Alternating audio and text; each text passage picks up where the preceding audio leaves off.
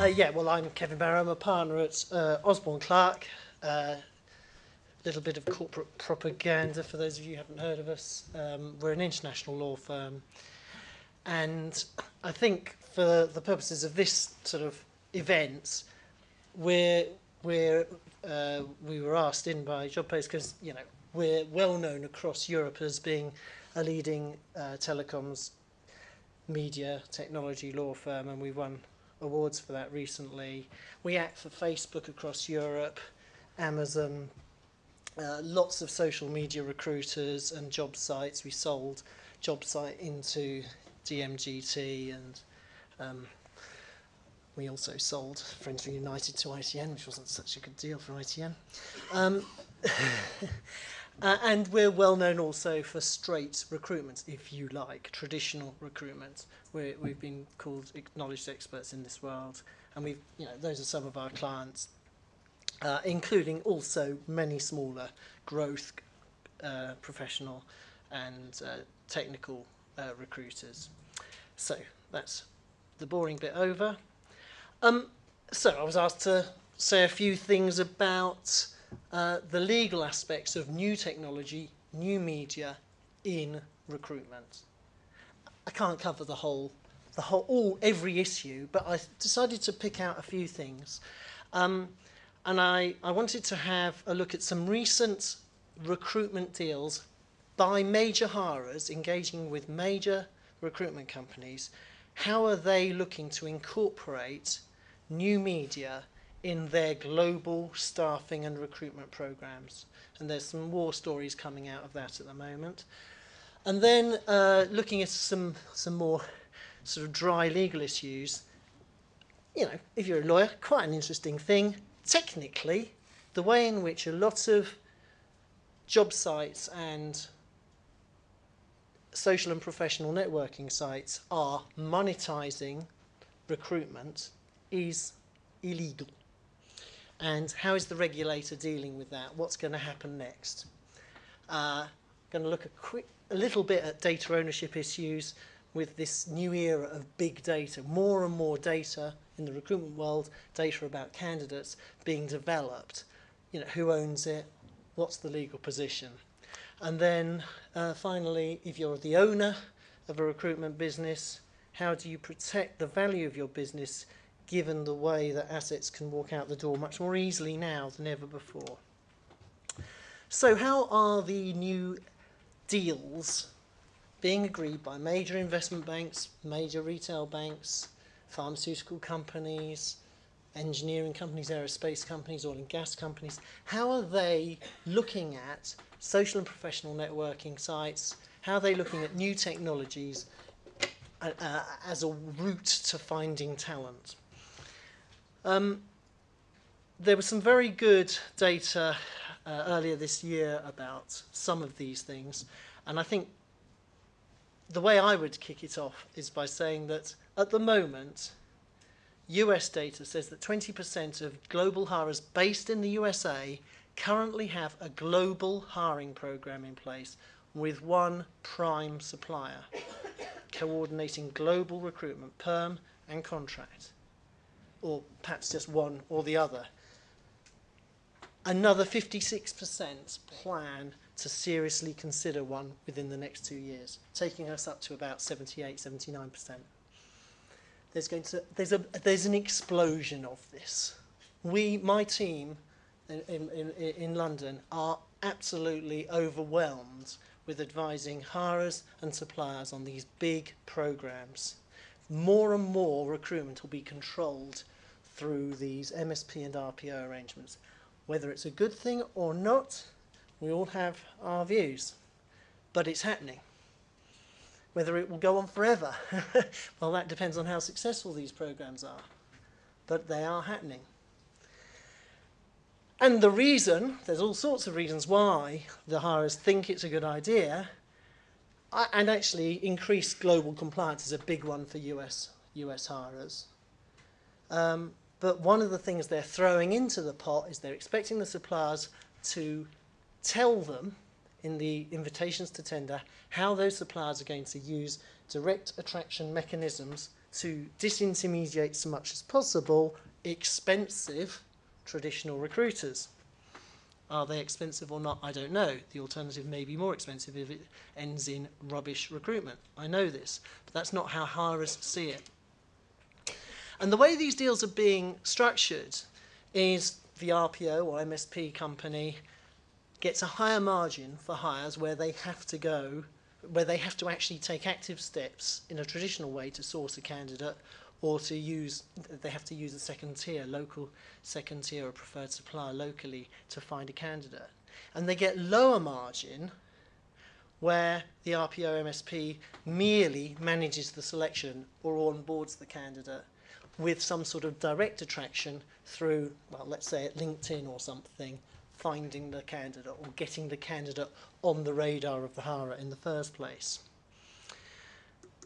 So why should the RPO MSPs drive um, greater hiring through social professional networking sites, disintermediating the, the sourcing activity of traditional recruiters? Well, because every deal we see now gives a key, an absolute main KPI to the major RPO and MSP companies to get a fixed minimum percentage of vacancies filled using direct attraction mechanisms.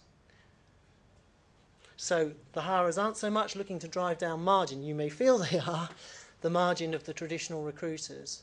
What they're actually doing is they're actually trying to just not use you. They realise a, a good proportion of hires fire for, for specific skill sets will still have to come through traditional sources. But for certain categories, a, a large number of hirers think they don't need to pay.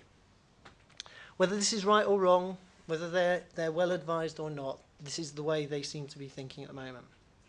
So new media, new recruitment media are entrenched in the DNA of global, global hiring contracts at the moment. That's current news. That's, that's how the deals are being negotiated at this moment. So, what about social, what about the legal issues, more legal issues that we're seeing associated with use of social and professional networking sites and various other technology-driven, new media-driven developments in recruitment? What are the legal issues? Well, I don't need to tell you, I'm sure, that social and professional networking sites and there are lots of new types of job sites and job exchanges are being used in California and there from there into the UK um, or simultaneously in California and the UK or other parts of America and the UK. They're being used by work seekers for finding work and by hirers and recruiters for finding workers. We don't need to this to, uh, to tell you that. These sites are seeking to monetize the recruitment process big time. LinkedIn, if you haven't read it, if you never read another legal document in your life, long legal document, have a look at the IPO document issued by LinkedIn when they listed to see how they plan to monetize recruitment. 76% of their revenue in the year of listing, which was last year, they attributed to recruitment. LinkedIn is a recruitment company. It is classified by corporate finance houses in America as a recruitment company, not as a technology company. But, and this is an interesting point, within, for example, the LinkedIn prospectus, it says under risks, so you have to tell investors about potential risks. Um, how we monetize recruitment may not be lawful in some countries, and we have to look at the law in each country as we go along, which is a fair comment. And what they're doing is monetizing something which is differently regulated in every country in which they try to do business.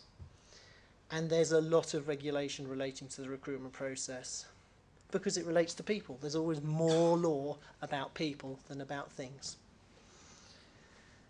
And some people have called this the Wild West, the way in which these networking sites, which are providing, I think, a very good service, and are inevitable. So legal problems aren't going to stop this from happening, but there are that legal systems are struggling to understand how they should apply to the new media and the new technologies. And since we're in the UK today, a, a specific interesting point in the UK, which does actually also apply in a few other countries, the same point applies. Recruitment regulation in the UK broadly dates from 1973, which was before the internet was thought of. Well, it was before I thought of it anyway. If any of you had already thought of it by then, well done. Uh, it's it, the recruitment regulators thought, well, we can't allow any loopholes. We need to protect work seekers and hirers from unscrupulous recruiters. So we're going to make sure the definitions in the legislation are wide enough to stop anyone creating a loophole going round the side. And so UK recruitment regulation applies to anyone who helps hirers find candidates or vice versa. And there's a specific phrase in the regulations which says, including anyone who does this, who provides this assistance to candidates or hirers, whether by the provision of information or otherwise. And the regulator, the UK regulator, believes that applies to networking sites, job boards, and all sorts of other exchanges operating online. So the legislation applies to them. There is an exemption for newspapers because they provide information. And the way they get around it is they're allowed to charge someone to buy a newspaper which has got information about jobs in it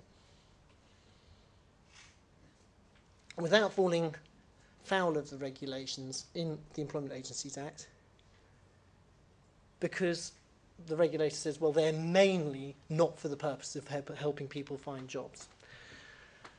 So if a job board or a networking site can say that it's not mainly for the purpose of helping people find jobs, then recruitment regulation does not apply to them. And that's quite important because if it does apply to them, the first thing it does is it prohibits, as a criminal, a criminal offence, the charging of work seekers for work finding services. Membership fees, doesn't matter. Don't, it, it doesn't matter if it's just if it's not based on a success fee. If it's if any type of charge for information about jobs is illegal, a criminal offence. In addition, and the UK regulator gets quite worked up about that because the social purpose of that piece of legislation is to stop vulnerable work seekers being exploited at the lower end of the market. Uh, for those of you who've ever um, thought of becoming models, they particularly, for example, get worked up where they see young girls and boys being charged for opportunities to get jobs as models. I'm sure that's affected a lot of you actually. And in addition, UK recruiters are very strictly regulated uh, as to how they engage with work seekers and hirers. There has to be there's all sorts of rules about what they must tell the work seeker or the hirer about their terms and conditions and and stuff like that. Well, you know, job sites, networking sites probably can do that in their standard terms and conditions.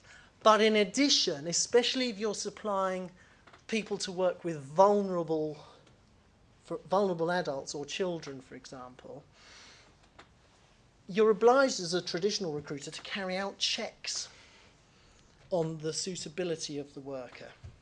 That's a strict obligation in the regulations, failure to comply with which is again a criminal offence.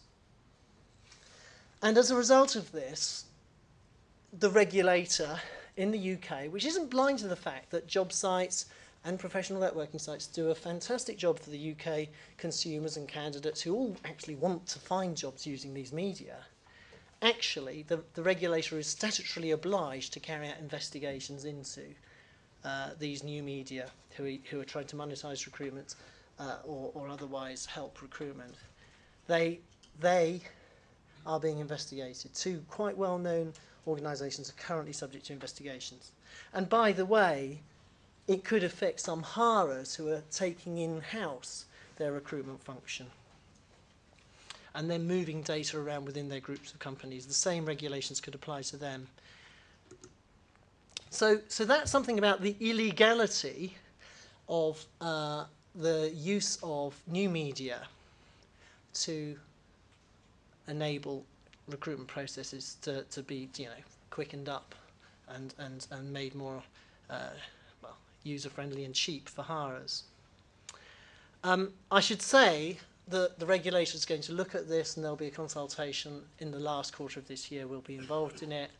Um, they're not blind to the fact that it's madness to have a blanket ban as they have, but they're very concerned about loosening the legislation because that may lead to vulnerable work seekers being exploited in some way, being conned into paying a fee for something that's not worth anything at a time where people are desperate for jobs.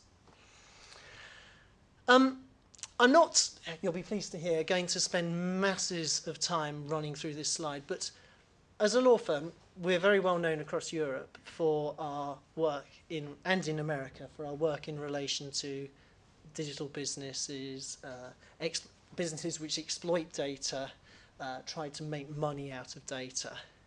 And we all know every year sees an absolutely massive increase in the amount of data that's being created and stored. And that includes in recruitment data about candidates. And it can be pulled in from all sorts of sources in retail, in financial services, in organizations like that who deal with consumers. They're pulling in data from, from all sorts of using weblogs, uh, clickstream, all sorts of stuff to work out who might be interested in what. And of course, that sort of technology, those sorts of algorithms will sort of be adapted for the recruitment process. LinkedIn, Facebook, undoubtedly, Twitter will undoubtedly be looking at people's usages of those media to see who might be suitable for jobs over there or who might be looking for candidates of a certain type. All this massive growth in the amount of data leads to data storage issues, then lots of people like Dan helping analyze that data and then chop and change it to personalize it. We all know this, this is happening. It creates massive legal issues. There's privacy issues. There's all sorts of jurisdictional issues where the data is being stored in one country which has different laws to the laws of the country where the data is collected from. Uh, and we, we believe as a law firm that there's a sort of slow motion car crash happening with the explosion in the amount of data being collected by business organizations and then analyzed and exploited and a very slow, massively far behind set of legal principles and laws which, which haven't really caught up with who should own it, how they're entitled to use it, when is and when isn't privacy law breached, um, and, and stuff like that. We think there'll be a lot of developments over the next five years about that. Um, and I wanted to finish off with a few words about something which is sort of unlinked to that. Can, can you just, with a show of hands, I know nearly all, if not all of the people in this room are actually recruiters of one shape or another. Um, just can I who is actually an owner of a recruitment company in here or partial owner? Good. Okay, good. Um, so this is well pitched. Um, new media is um, a good or bad thing, depending on your point of view, but, but one thing it is leading to is employees being able to generate, this is in the context of a recruitment company, the recruitment consultants themselves being able to generate huge numbers of contacts and see the friends and connections of others. This is good. You know, you want good recruiters to be doing stuff like that. And, you know, in most businesses, they have a fairly free access to the client contacts that have been built up over the years by their employer. And they're making these contacts all the time, and I think it's widely known that there's some confusion about who owns contacts that individuals make during business time with people on LinkedIn or even after work with or, or, or any other social professional networking site. Are you clear about who owns those contacts? Are they adding client contacts to their personal LinkedIn accounts? Almost certainly. It's hard to stop. Should you even suppress it? You know, it shows a certain entrepreneurial approach. You'd be disappointed if they didn't, perhaps. But if they leave, can they take those contacts with them? Do your restrictive covenants in your employment contracts with your workforce deal with solicitation via new media after they have left? And we are banging on and on and on about this. It comes up all the time. Everyone involved in recruitment needs to have their traditional restrictive covenants updated and they need to have a social media policy suiting whatever approach they want to take to use of social media. But you should really educate your employees about what you think you own and how they should use contact details that they make through social and professional networking sites. You should spell out the consequences of misuse and be clear with them about the extent to which you do monitor them. And there's a lot of this going on in the recruitment sector at the moment. There's a lot of legislation in America about this as well. And Germany. Um, and I think against this, you know, for those of you who say, well, what's the point? Uh, what's the point of trying to protect it? Because the courts never protect us anyway. Uh, if someone does leave and I try to stop them dealing with um, ex-colleagues or ex-clients or, or candidates that they came across whilst they were with us, um, you know, the courts will just laugh, you know, be too expensive, we won't go anywhere. The courts are a lot more, or have become a lot more inclined, well, it says slightly more inclined here. Our experience is a lot more, really, inclined to protect employers where employees leave and try to take the assets of the business with them.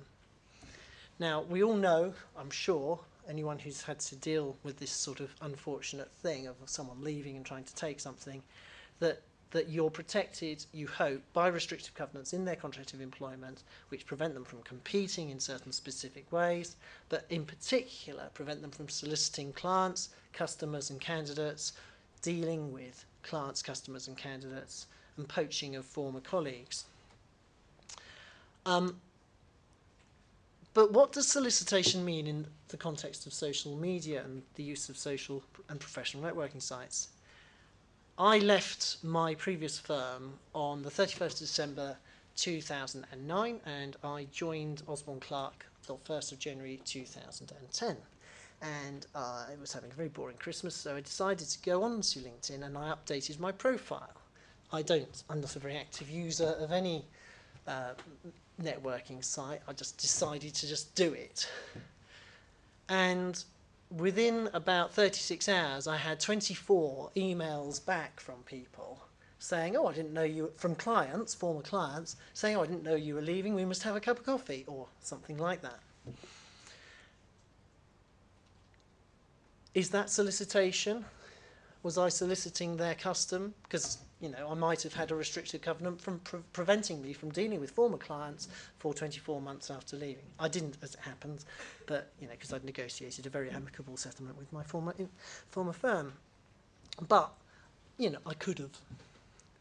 And this is happening all the time, and all of these things, it's unclear yet. There's been no real decided case as to whether or not someone doing these things in relation to their LinkedIn account or whatever is actually them soliciting former clients.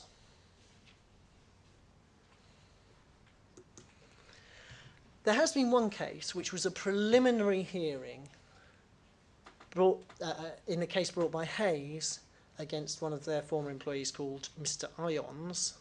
He set up a company before leaving Hays. He uploaded contacts from the Hays database onto his LinkedIn account and he sent invitations to candidates and clients to connect with him um, through this, this, this LinkedIn account. Hays applied for a court order asking him to disclose everyone he'd contacted. Um, he said, well, Hays encouraged me to join LinkedIn. Well, it was accepted that he'd been encouraged by Hays to join LinkedIn and make connections. Um, he said, well, the restricted covenant in my contract of employment only prevents me from dealing with uh, confidential information relating to Hays, confidential to Hays. As soon as I was allowed to put it on my LinkedIn account, it ceased to be confidential because people can see it. The court ordered full disclosure of his LinkedIn contacts, ordered him to um, uh, provide copies of all messages sent and received through LinkedIn, and um, ordered him to provide invoices and emails showing the business he'd obtained as a result of those LinkedIn contacts. Now, that wasn't a fine, that was a preliminary hearing um, it, which just allowed Hays to get some evidence. It wasn't a final decision by the court that by using LinkedIn, he'd actually breached his contract. And it was settled. It didn't go to final trial, so we don't know what a court would have actually ultimately said. Two final slides. So, what can you do? What practical things can you do? Well, I recommend you take snapshots of contacts of your. You may say, "Oh, I can't possibly do this." These are just some ideas. You don't have to adopt them all. Have a think about them all, though. Take take a snapshot of the contacts of all of your new employees when they first join you. Specify that new contacts added during employment, unless they can be demonstrated just to be their sister or their girlfriend, are company property. Specify they should only use their company email address when you when engaging in social networking and professional well professional networking anyway. Pay for premium counts. If if you've paid for their membership, I think that helps the argument that you own what they they they, they get. Require personal and business contacts to be kept separate. Ensure another of your employees always remains a connection of the ex-employee specify in your contracts of employment what you consider to be solicitation, i.e., you can't solicit, solicit former candidates, former clients, including you can't, after you leave, you know, ask them to join a LinkedIn group or something. On departure, consider asking them to defriend relevant connections. Include in your contracts of employment with uh, consultants the right to ask them that, demand that. Require them to disclose approaches made to them by relevant connections. You could ask them, you could require them contractually to close a social media or professional media account. Impose time restrictions on reconnecting and ensure your, your the client connection, contact details that they make via LinkedIn or something else are on the employer's database before before they're deleted from the account of the of the leaving employee. And the classic one, which has always been a good idea, seed your database with false information, which if someone tries to contact that particular client, actually goes to your finance director. So that was a whistle stop tour of some of the key issues that we're seeing come up in relation to the use of new media. If you don't get on top of your recruitment consultant's use of social and professional networking sites, even if you never suffer a departure with someone downloading lots, uploading loads of data, leaving and taking all the business with him. A buyer, if you're trying to sell your business, will be concerned you haven't tied down your key asset. If you don't have a policy, if you don't have restrictions, a buyer will wonder what's going to happen on the second day after they've bought. Will all of the stars leave and set up in business? Will in fact they have paid a load of money for nothing? Should they in fact pay you 97% of the proceeds of sale as earn out after 12 or 24 months? And I think there are differing views about whether or not you ever actually see the value of an earn out. I think actually sometimes they do work. But uh, you'd certainly be wise if you were a buyer to shift most of the purchase price into earn out if you can't see the seller having tied down the value of customer connection and candidate connection. So thank you very much. Right.